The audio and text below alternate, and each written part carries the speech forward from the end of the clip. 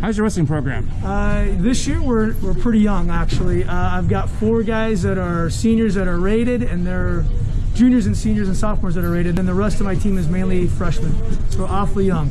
Uh, what's your expectations for the year? Well, for those four really good guys, elite guys, their goal is to be a state medalist. Um, for our other guys, I think it's to get better every week, get better every week, get better every week. Did you guys make state at all last year? Um, we did not make state duels last year. Uh, we have made it maybe I think five of the eight times they've had it, four of the six, whatever that is. Um, last year we did not make it.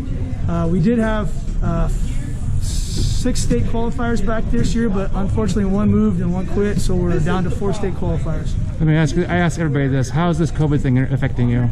Uh, it, it's different. You can tell I'm trying to coach with the mask on. Uh, trying to talk with the mask. Uh, we make our kids warm up with the mask. It's it's tough. Have you guys had a match yet? Uh, we did. We actually wrestled five duels yesterday. Uh, we won three outright. We tied in two of them. And in NSA, they don't do ties anymore. So we won one on criteria and lost one on criteria. So what do they do when that happens then? Uh, well, they have a whole list of things that they go through, like the most pins, the unsportsmanlike things like that. We won on most near fall, and we lost on most first points scored.